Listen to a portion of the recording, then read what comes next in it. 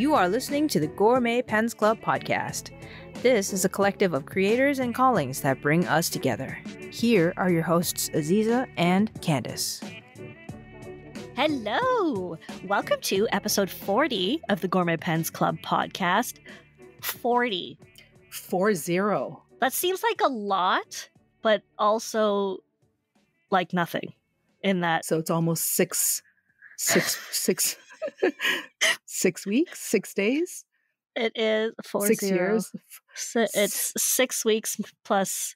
Okay, so uh, um, I've forgotten math. Uh, I am one of your hosts, Aziza, aka Gourmet Pens, and let's welcome my also math forgotten co-host. I am. I am the co-host. I know that six sevens are forty-two. So anyway, So it's like six sevens minus two days. minus two days. That's right.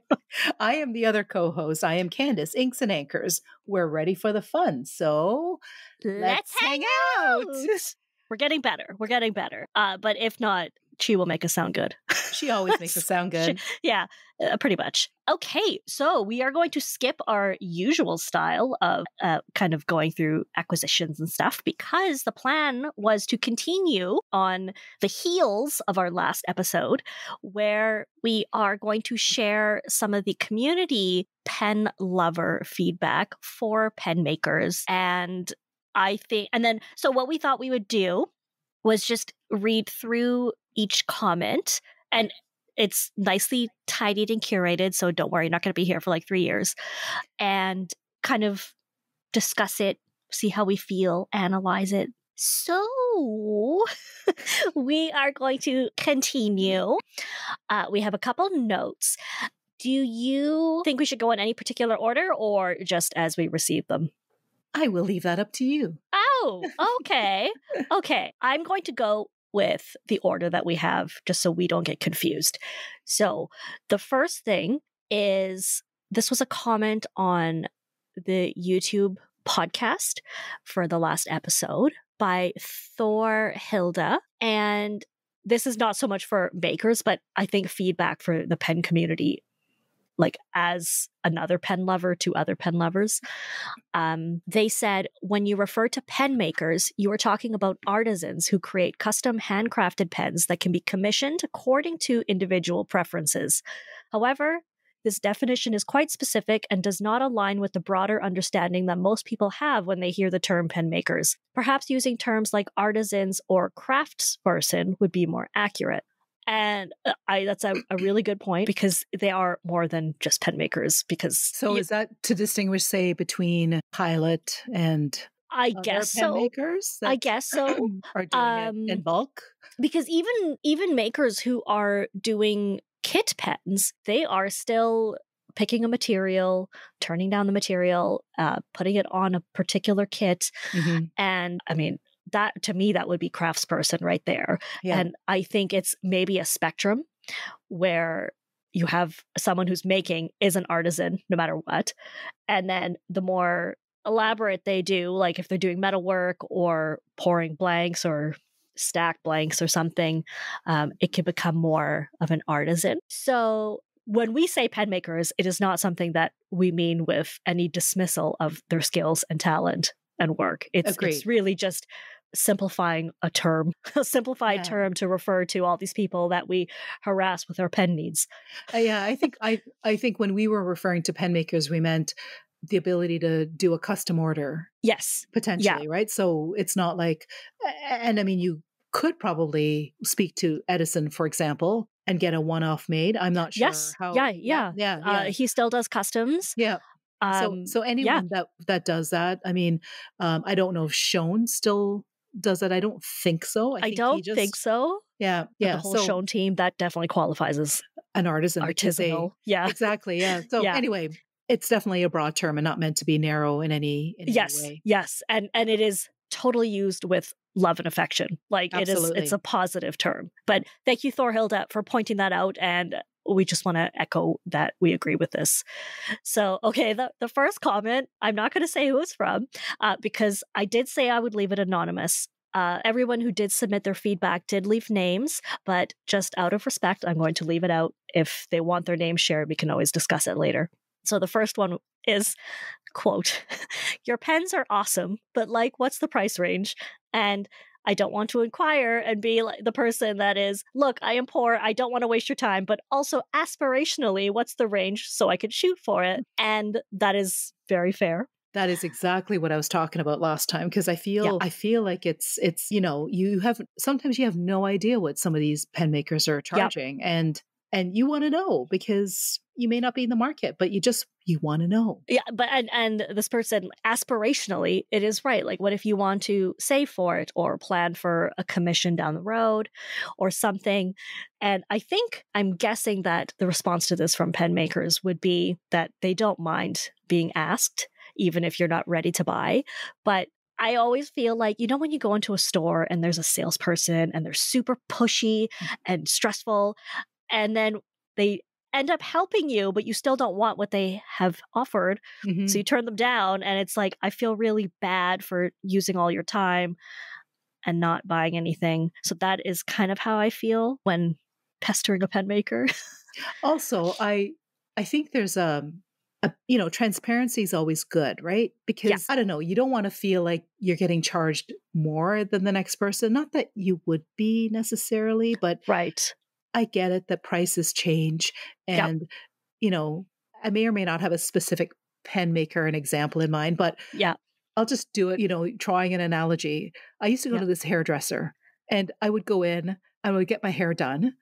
And I would say, okay, how much is it? And I would get a different price every single time. And I have no idea how this person priced their services. Was right. it because my hair was an inch longer than the last time? Was it? And it's not that the price kept going up; it just fluctuated, and I had no idea. Right. And it was right. just like, "What are like, you doing? Please explain. Like, just, Help me understand." I know, I know, and I don't even think that they could probably explain it. Like it was just, I think they just kind of, I have no idea. Anyway, you kind of don't want to get that feeling either, right? Like it, it's a yeah. different price all the time, and it would just be helpful. It's like, okay, my price is, you know, 170. Yeah. But if I use a material from Brooks, it's yeah. more expensive. If I use right. a material from Danks Blanks, it's more expensive. Yes. And I add a premium for that material because, and that's totally fair, right? I think right. it's totally fair because they, I think that'd be beautiful. Yeah. Uh, because then you could have an idea of what yeah. you might be looking at. Yeah. Uh, even if it's not down to the dollar, it, it does give you some time on your own to think about it without asking them a million questions. And yeah. then they have to answer each person individually, which is time consuming for them. Yeah. So I hope that this is something that will continue to improve for pen makers. I mean, not just for the enjoyment and benefit of pen lovers and buyers, but also for their peace of mind and for the sake of saving their time. Uh, okay the next one. This one is a lot of pen makers use JoWo or Bock nibs, but there's still a wide array of difference in terms of quality. Ideally, I would love if all small makers could do some nib tuning. For example, Edison Pens does an incredible job of tuning all their nibs. But short of that, I would love to make sure that there is some quality control. That's a tough one. It's um I don't disagree. It's just tough. it's very tough. And also, even if the nib is tuned, it may not be tuned to how you like it right? Which is always right. something you have to keep in mind. And, you know, that's a good point. But it's because you're specific about feedback. Yeah. And like personally for me, I don't want feedback. Right. So it would be to- totally different tune ups yeah. for either of us. I know that I find like a, a, vast majority of pen makers in the US, anyway, get their Bock nibs from Kirk at Pen Realm. Right. I feel like I don't I don't know if that's actually the case, but I know that many of them say, oh, and I've got, I can do Bock nibs and they're all tuned by Kirk. Right. And it does bring a whole lot of comfort in knowing that it's tuned by him because I have yet to get a nib from someone who has said it's tuned by Kirk to be yeah. inferior, right? Even if right. it doesn't give as much feedback as I'd like, I tend yeah. to find them to be to my liking. But yeah, it's it is tough because I guess a lot of pen makers I think almost all of them at the at a minimum say, I know that it writes. Yeah. And it is also something that is time consuming mm-hmm. to smooth each nib, uh, clean out the pen. And some people don't yeah. like their pens dipped. Yeah, that's another thing. It is it is tough. And I wonder if it might be better for pen makers to purchase their nibs pre-tuned and like all of them be able to offer something that is already pre-tuned. Mm-hmm. To be fair, I don't think I've ever gotten a bad JoWo nib personally, like one I... that just didn't write or Yeah. was was, was like misaligned or anything like that. I I mean, mean- I'm not super picky about my nibs. So Yeah. for me, I can understand the desire to have this, but I personally I don't need it. I would also we were just talking about the previous point about having um, the a price list. So they could also have something where they offer an untuned nib for like ten dollars, and then a tuned nib for like fifteen or something. I disagree. I disagree. How dare she? No, this is good. I- Controversy. Con- yes. Yeah. I, I think I think at a minimum it should be there's a minimum level of how that nib should write. Yeah. And if and, and I mean that might be untuned if Yeah. what you classify as untuned, but Yeah. I don't think you should call it untuned. I think it should just be it should write. Like factory. I mean, the fa- ideally they should. and then but if you want it tuned specifically to your needs, Yeah. And I mean, then, then, you're it's something different. nib work almost. I, Well, Right? and I mean, but this is how some of the retailers differentiate themselves. I don't know if there's a pen maker that comes to the top of my pen artisan. Yeah. That's also a Nibmeister, like in that category. I know sometimes when I want to buy a pen like a TWSBI, Yeah. I will buy it from um, Nib Grinder, Mark Bacas, or Nib Smith, Dan Yeah. Smith. I was drawing a blank. I will sometimes specifically, or Appelboom. Yeah. I yep. will go specifically to those retailers Yeah. for the non artisan type pens yes. Yeah. because I know it also comes with a tuning service that's Yeah. included in the price, which I think Right. is gold. And I think Yeah. it's well worth your effort, as Yeah. you have told us on this very podcast with Mhm. the Montblanc, that you were too impatient Oh, to yeah. wait to Oh, wait gosh. to have it tuned.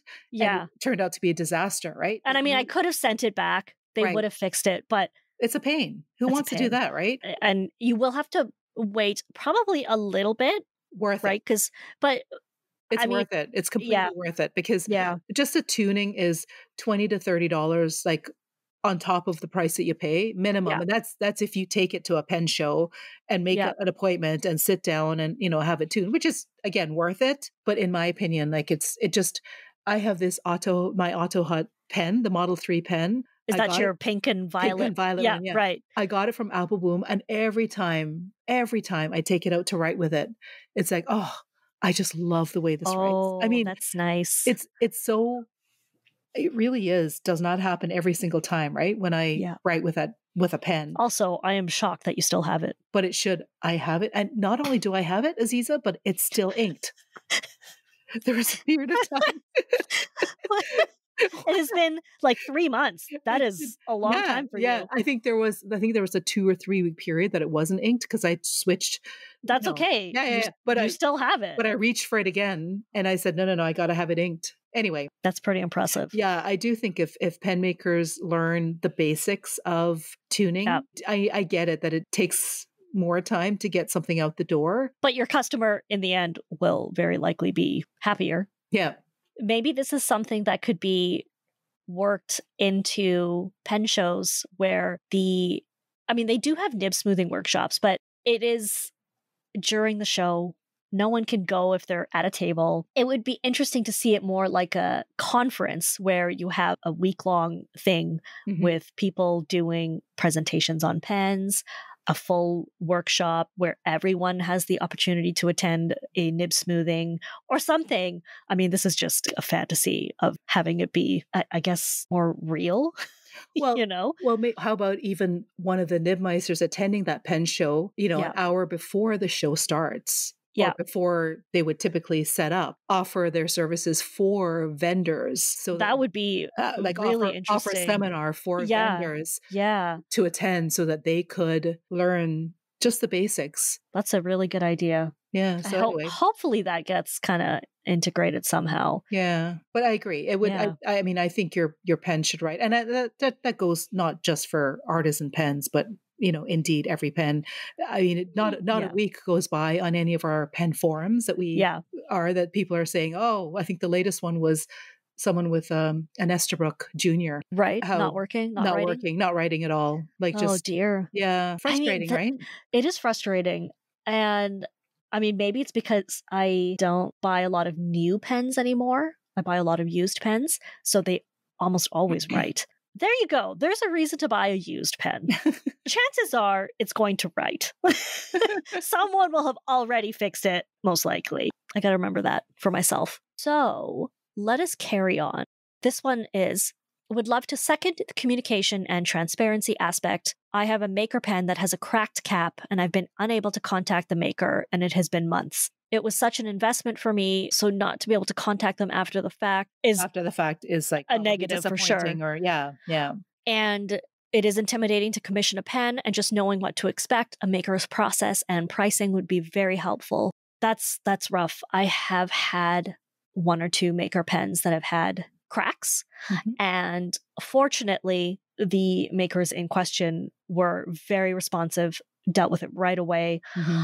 They didn't really apologize because, which is, I'm glad because it can happen. And sometimes it happens because there's a spot that got stressed or something, or something that's out of their control. So they didn't say like I'm I'm sorry that I did this to your pen. It's mm-hmm. more like sorry that you have to send it back to me. Let me take care of it for you. Like it has gotten resolved. But I also don't want makers to think that in a case like this, it's their fault or something, so that maybe they're intimidated to reply. But it's like, please don't just just reply even if you are unwilling to fix it, at least tell the person so they know. Yeah, I think that's a tough one if you're unwilling to fix it. I really think you should yeah. stand by you. Your, you should. You should. Product. And many makers, I think, will stand by their pen even if you're not the original, original owner because yeah. they know it's their pen and it's yeah. and as long as it's something not as a result of abuse, obviously, yeah. right? Right, um, right. It's happened, you know, a few times with me where I've had some issues with pens, and mm-hmm. the makers have all acknowledged that you know it shouldn't have gone out that way. Apologies, because you know they're yeah. human and they miss things, but they just yeah. they make it right. And I mean, we're talking about hundreds of dollars that are just that's not inexpensive, right? And especially because it's a yeah, that's right. you know, hundreds of dollars for a car would be yeah, fine. But, yeah, exactly. but for a pen, yeah, it's mm-hmm. um, disconcerting and uh, it's frustrating, right? When, yeah. when you don't get a response. i I'm actually experiencing that right now with a maker that has not responded timely. Mm-hmm. And I think I still have faith that he will respond, mm-hmm. but it, it sometimes is days, if not weeks, go by without, yeah. you know, a response. And yeah. every time he posts something on Instagram, I rush to my messages uh, to, to see, tr- to try and send something so that yeah. it will pop up right away. Because not right, like catch them while catch, they're still on their phone. Yeah, yeah. Because I know that unlike me, some of them don't live on Instagram right. 24 7, right? Right. They, they, may pop in every few days or every week or so but it's very frustrating, especially when you have already paid for the product. Yes. And yes. you don't have the product or there's something wrong with it and you're yeah. still left in limbo trying to get it resolved. Right. You just want an answer or just some transparency. Yeah. Just want to know what's going on. Absolutely. Yeah. And I think that is perfectly fair. And I don't know. I don't, I also don't want to harass people, but yeah. it's like if you don't respond to any of my messages, I'm probably going to email you. Yeah, that's right. You know, and if you don't, if you don't respond to an email, I'm probably going to phone you. Yeah. Which is right. everybody's worst nightmare. That's right. So and let alone yeah. maybe at the very end as a last resort, call you out. Yes, and and that is the last thing I think Nobody for most people that. that is the last thing that they want to do. Yeah, but they're frustrated um, and desperate.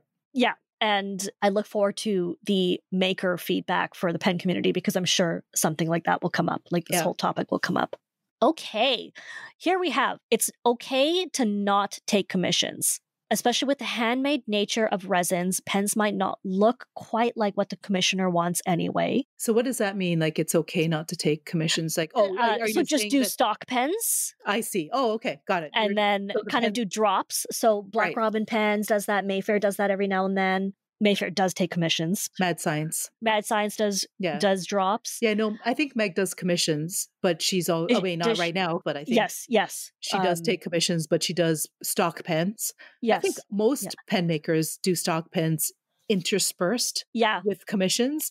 I mean, in a way, that is very exciting Yeah. because it i mean it's a thrill you don't know what's going to get dropped so Also, you get to know. see what the final pen looks like. yes Because yes I don't, don't know if we've talked about this. I'm sure we would have talked about this, but it's so hard to know exactly what your pen is going to look like for a lot of these blanks because Yeah. they differ. They're hand Yeah. poured and you just don't Yeah. know what it's going to look like. And I have had, unfortunately, experiences where I think it's in my mind, it's going to look a certain way. yeah And in the end, it doesn't. And and Yeah. sometimes I purchase the pen anyway because I feel bad and I've agreed to purchase it. yes yeah But after a while, I've said, listen, I don't want to commission it because I don't want to commit to something I don't know what it looks like. And some Yeah. makers have been very good in saying, listen, if you're not happy with it, you don't have to buy it. And I'm thinking, Right. "Well, okay, if you're okay, And with you're that, taking okay them further at their word Yeah, that Yeah. this is what they're okay with yeah, I have to tell you, once I had a, I had purchased a blank, very excited about it, had the maker make the pen, and we both looked at it. We were like, ew. so um, they were like, yeah, you don't, you don't need to buy this. And, and I was like, I will because it is a commission. They were like, no, don't, yeah. don't worry about it. That's nice. Um, that was pretty funny. Yeah, so Uh, that's that's great when people do drops like that because of course the bad part is, you know, you're stalking their site, you're like trying to Yeah.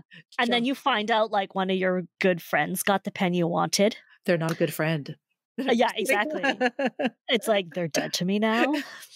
Um, or you and I think this is why pen shows are great. or you have five people on your behalf Oh gosh, I know. trying to buy the pen for you. I know. It's like someone needs to get I this. know. and I'll just reimburse you. Just go, go, go. Just work, work for it. Yeah. So go to pen shows. That's the best way. Okay, don't be afraid to play with shapes or combine colors or add metal to make your pens just a little more your own. Standing out is probably the hardest thing. Yes, That's a good point. I agree. Uh, not not all pen makers take that approach, right? I think some of them just want to. They're comfortable making this model pen, and that's the pen model that they're going to make, and they're happy with, I guess, a pretty ink stick, right? That's Yeah. And there's nothing being. wrong with that. absolutely nothing wrong with that because people know what to expect, right? Yes. And but also- it doesn't necessarily stand out. it doesn't stand out. I remember Yeah. once I um I purchased that uh Franklin Christoph is it 48 pen case, you know the Yep. little briefcase thingy whatever. Yep. And I mostly put my custom pens in there and I took a picture of it from the top to show all Yep. the pens and I love it because I can see right away all my custom pens and I know exactly where each one is. Yeah. Anyway, I posted that and I said and I said, "Hey makers, you know, can you spot your pens?" And Yeah. it's really funny because right away a few of them say, I know which ones are mine. Like you can see right away Yeah. the, the telltale shape, right? So Yeah. Yeah. was pretty interesting to be able to just point right away. I know, you know, for sure this one's mine, this one's mine, this Yep. one's mine. So Even something simple, like it doesn't have to be ornate or complicated. Right. It could just be some a simple little thing, a little um, like artist signature kind of thing. Uh, I do like that idea. Don't skimp on the threads. Balky threads. Balky? Bulky? maybe bulky. I'm not sure if that's a typo or anyway. Um, probably the most annoying bulky thing to have on a bulky threads are Yeah. probably the most annoying thing to have on a pen. So maybe don't skimp on the threads, meaning pay, Pay attention to it. Yeah, pay Yeah. attention to the threads. Absolutely. Don't leave them dirty or messy or, Or poorly cut. or cut. Yeah. Yeah. Yeah. Yeah, Make sure they're Um, smooth and especially if you're doing just a straight ink stick. yeah. like the last thing you want is the one standout feature being crappy threads, Yeah. right? You know which threads I really like is um Chris from Butterknife. He has these square threads. Yes, yes. I really, really love because it's totally smooth and it's really cool because the threads are it's thick. Like it's Right. not, not thick, it's wide, I guess. They're like really flat, but wide, Mhm. if you know what I mean. Um, yeah, yeah, yeah, yeah. It's almost like a hook system, like the, the Visconti yeah, yeah, yeah, exactly. You know, it works.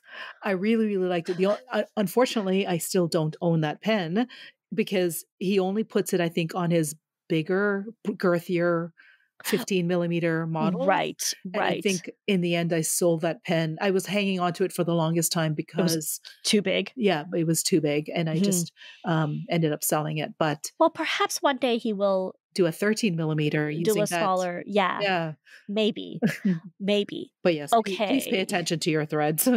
Yeah. Uh, uh, kind of in, in, in line with the previous comment, focus on different styles or filling designs as well as materials. Mhm. Um, there are so many makers making similar designs with nearly identical materials and charging a premium for it. And of course, they are pens. They have a certain shape. Right. So many of them are going to resemble one another. Yeah. But yes, doing something, just something to make it Your own. yours. And even if it's just like a dip in the barrel that you do where people can put their thumb or some I don't know, like a Yeah. like a fidget type thing. Yeah. Anything to it doesn't have to be complicated. It could just be anything to stand out. So that Mhm. is pretty cool. and different filling systems is cool as well to yeah. you know not not that i'm a fan of different filling systems i i like No, but converters but some people I know. and i get it some people i mean some makers will rebuild existing pens if, Mhm. especially if the material is damaged um like Shawn Newton is a good good Yeah. example of that and he's on the Pelikan uh, Yeah. twiz pens does yeah a wicked job yeah this is artisanal Oh, and, and in that case i would just say expect a premium because that is that's right a skill it is Yeah. time consuming it's intimidating especially if you're using a material that is like the last rod on earth yes you know like no pressure I know. but don't mess up so um but in that case of course i would assume that one would expect a lengthy waiting time a complicated process but be okay with it okay. Ooh this is interesting. Okay so number one it is not okay to charge a thousand plus dollars for a plastic pen. I don't think i've ever paid that much for a custom pen but with particular materials and add-ons i could see how it could happen. Yeah i it is controversial in a way because um you, you just don't have to buy it. Uh, that's right? true. Part, part that's of it is- true. And and i don't think i've ever seen a pen maker gouge. The customer from that perspective like i don't uh, like usually if it's if it's gonna be a thousand a plastic pen for a thousand dollars i don't think i've ever seen that but i mean i've seen a plastic pen with raden on it and urushi right and then it you know Right. gets up to the top tier almost Yeah. four i mean that figures. uh, that leaves a bit of room for interpretation yeah because the following point is precious resin is not precious which is true it's just a, a marketing term but, yeah oh so um, maybe that's it the maybe that's what it maybe that's what it is although that is uh, of course that is not what makers do right in that they're not using precious resin right um, they're just using resin Yeah. or acrylic or cellulose acetate or Yeah. whatever but in that case if something like the Arco celluloid which goes for like hundreds of dollars a rod that's i mean that's supply and demand that's the way it goes right yeah yeah um is it ridiculous to charge that much oh yeah maybe right but but but if you if someone can afford it and that's what they want they're going to pay for it and they're going to pay for it and people are just going Um, to say sellers are just going to say it's the market price Yeah, I mean the market will bear what people will spend. Yeah. So Yeah. this is a very good point. Warn customers if the material, for example, celluloid that the maker is using can shrink, discolor, or catch fire. yes I do think material warnings are very neglected, Mhm. very important. Ryan Krusac works with wood and is always careful to let the buyer know how to treat the pen because it's apparently very easy to damage it with heat. So, like, Makes don't leave your pen in a car. so, makes sense right yeah, yeah, and, and but it's it's nice to have a maker who understands the material to Yeah. explain that. And I mean, also, I just use general common sense, but specifically like celluloid, that is something that can crystallize, discolor, shrink, change, warp. Um, but you know that because you've been in this game I know so that, but like but somebody who is just new or has never worked with celluloid, no never idea it, yeah no idea. yeah And Same so I do think it's a good idea. same thing like um, my first time i bought a Kaysen pen Yes. beautiful Yes. material but i actually found that it actually does shrink over time Right. and right. it's not really that big of a deal except as you know i like to store my pens separately from my nibs Yes. And when i went to then screw in the nib into the pen i thought Yeah. all of a sudden it doesn't fit Right. and so there are issues with that you just not a big deal you just have to know how to Yep. use your pen treat it etc the other the, the other big thing for me is and i don't think it's an issue for you miss i like to sniff everything is Yes. it is it celluloid or that material that um, the camphor kind of smell what what what material is that that is that is celluloid. Yeah. celluloid yeah Yeah. yeah if you sell me a celluloid pen please tell me that that's what it is and it's going to smell like that for months and months if not years afterwards Candace, I would buy celluloid Just for and, that, and I like. I would I was gonna say I would rub it just for the smell. I've I personally I love that. And you remember you had a, a pen that Pe- was acrylic, and remember I had Captain, and I was Yeah. like, you almost passed out. It was, it was so strong, and then I was like, oh my god, I'm so dizzy, and then I did it again because I very much enjoy that smell, but I'm a sniffer. yeah, So not everybody is. But I think that is a fun way that pen makers can educate buyers about their work Mhm. and while also educating the pen community as a whole. So I know they're already contributing by doing the hard work of making pretty pens, but I think it would they need to benefit them. Yeah, like work harder. Uh, quit your day job. I know. Pens for me. Uh, I think it would be really beneficial. Okay. If you're charging over $400 for a pen, it should have a gold nib. Mm, False.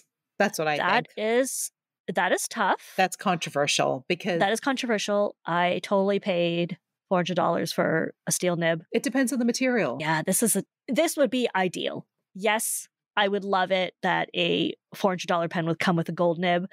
That would certainly cut into the margins for the maker. I don't think a lot of makers would be able to absorb this as a as a cost. Yeah.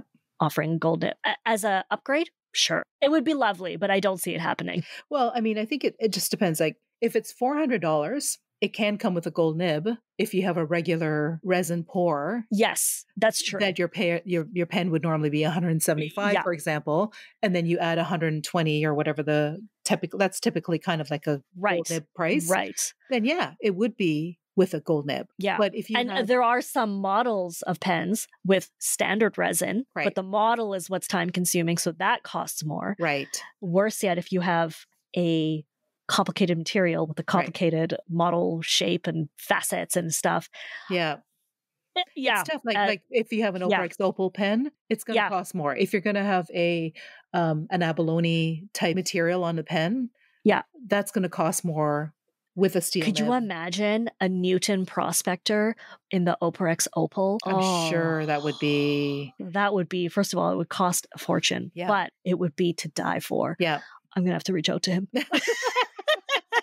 just just to inquire, just out of curiosity, have you ever done this before? Would you be willing? Um, yeah, I don't know if he. yeah. I, I haven't seen him do the. I don't And I mean, a lot of people don't know this, but the Operex Opal material is beautiful, but not every maker will do it because it does come with some health hazards. Yes, it's, yes. it's uh, made of silica, and I think you Yeah. really have to be mindful that you're not inhaling it, and so Yeah. it come. You have to be Yeah. when, well you, you need good You need ventilation. like. You need you like know- don't do that in your bedroom kind of Yeah, thing. yeah, It is very interesting to know that about material though. yeah. Okay, let me keep going here. Let me see.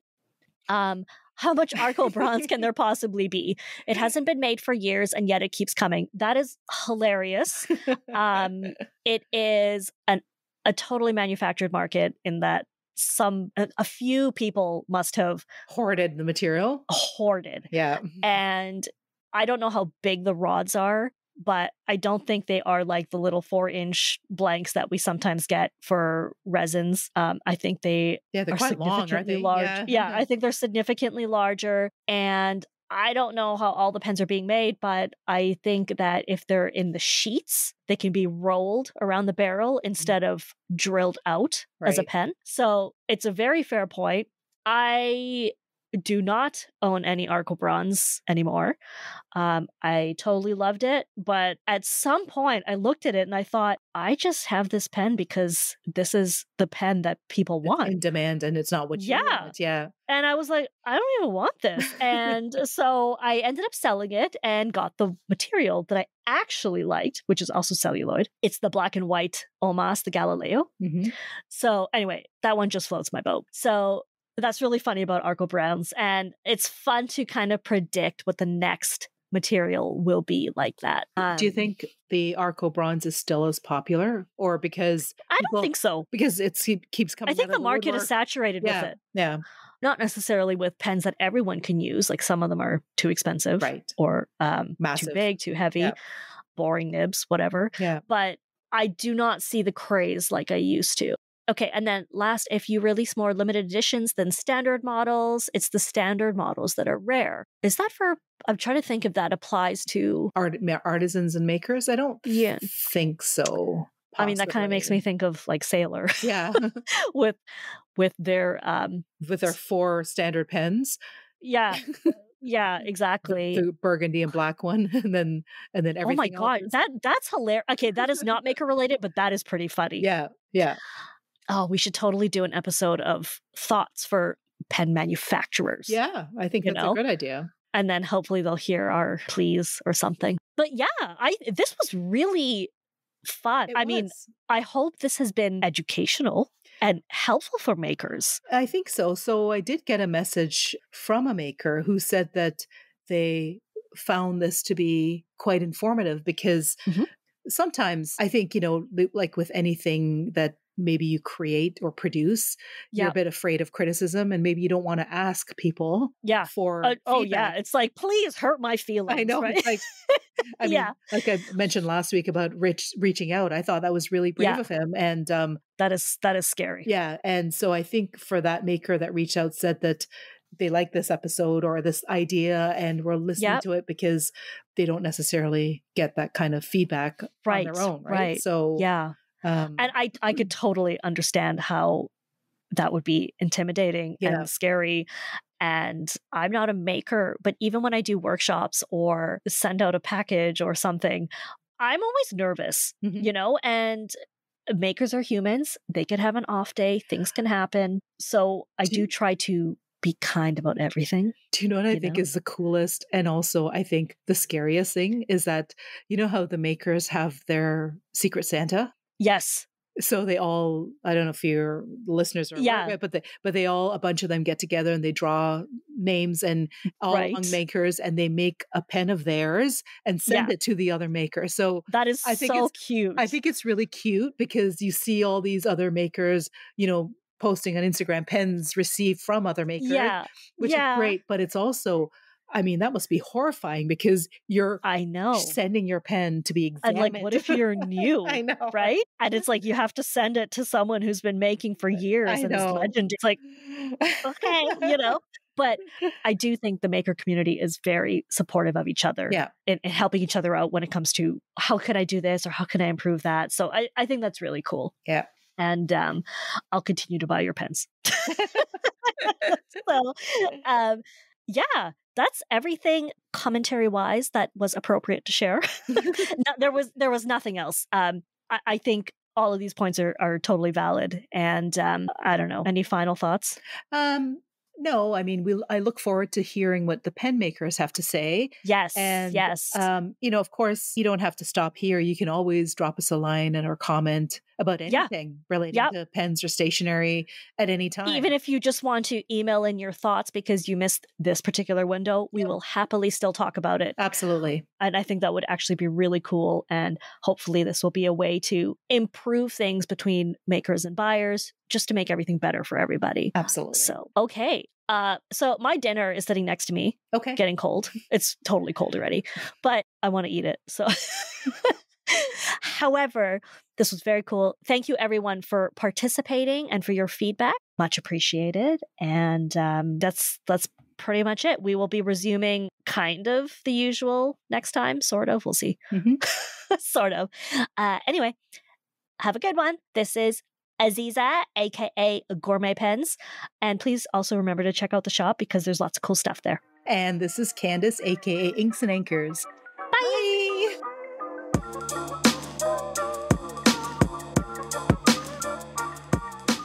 This podcast was sponsored by Gourmet Pens Shop. Need some tools for slinging ink? Samples to explore? Hop on over to gourmetpensshop.com and consider supporting us by picking up some cool new stuff. And if you like what you hear, please give us a review on Apple Podcasts or wherever you listen to podcasts. My favorite TV shows of all kind, I do love a good drama series, right? Like mm-hmm. This Is Us or whatever. But I love British detective sh- series or shows. Like Matlock? No, Matlock is not British. and is oh no! Oh no! Which one? Which one was? Um, the one shoot, there was Of one. course, that I forget. I forget all the names of them. Of course, yeah, yeah. There's All one the I names used to of them. watch. Anyway, but they're Um, all actual. British shows, detective shows. They're they seem to be. I think they're just really really good, and they have so they're all like DCI homes or DCI something, or the DCIs have some obviously some crutch or some some issue with their lives. It's either a, like a failed marriage or maybe drinking or whatever. But there's this background story. But the cases are quite good, and I don't know. I just they all seem to be really good. yeah, I, I love a good cry when it comes to like a good movie and a good show and yeah. Being that intense. No, and- see, I could cry about my life, so I don't need. I don't- don't need, See, I I prefer- external. I prefer to cry about other people's lives. Man, gee, you might want to cut that entire thing out.